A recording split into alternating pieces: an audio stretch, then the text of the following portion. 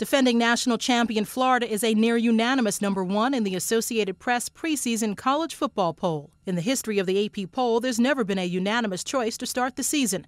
The Gators almost became the first. Florida is as close as it's ever been. Uh, the Gators received 58 of 60 first place votes.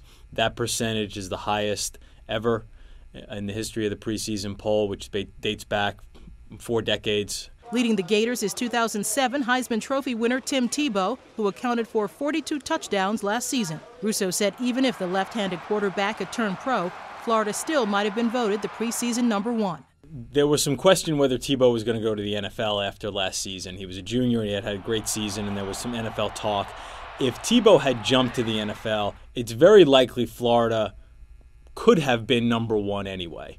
Um, it would have been far more up in the air, though. Not only do the Gators have a dangerous offensive threat in Tebow, all 11 defensive starters return from last season's national championship team. Right behind Florida in the preseason poll are the Texas Longhorns.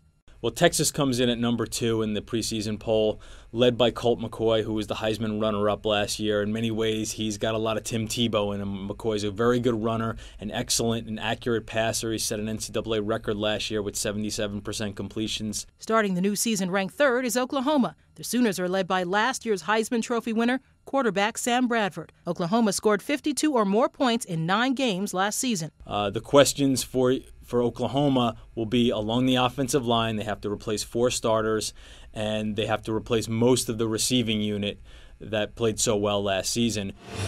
Seven time defending Pac 10 champion USC comes in at number four, despite losing starting quarterback Mark Sanchez to the NFL, and nine of 11 defensive starters. Rounding out the top five are the Crimson Tide of Alabama, winners of 12 games last season.